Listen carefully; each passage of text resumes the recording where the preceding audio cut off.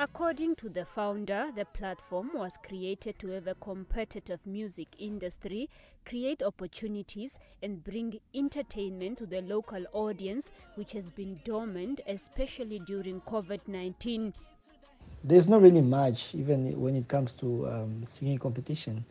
There's not really much happening there. So, at least with this, you know, there's at least something, there's at least a platform that, you know, help, you know, young people to kickstart their musical careers.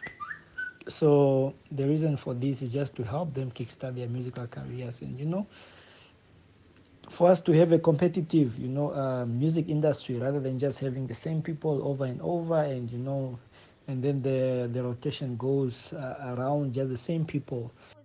The winner of this season will walk away with $20,000 as well as a recording, promotions, tour, and marketing deal. Also up for grabs is a song with one of the Namibia's prominent artists who is among the judges on the show. Right now, we'll be airing our first episode very soon. So we're just busy with production now. And um, this second season is going to be great. It's going to be great. It's going to be different. You know, we made some improvements on, you know, as I said, the first season was a learning curve. The winner of season one, Paul William Shipanga, told NBC News how the platform created much needed opportunities for him and boost his music career.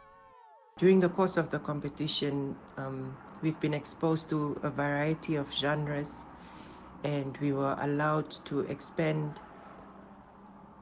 a lot. And that was my favorite part of the competition because it truly pushed us out of our comfort zones, especially for me personally. And winning this competition just showed me that it is possible to follow your dreams, to put your heart to something and to acquire it if you give 100% in what you do and if you have a good amount of work ethic and faith in yourself as well as your capabilities. The audition for season 2 is closed and the contestants will be battling it out online through different episodes.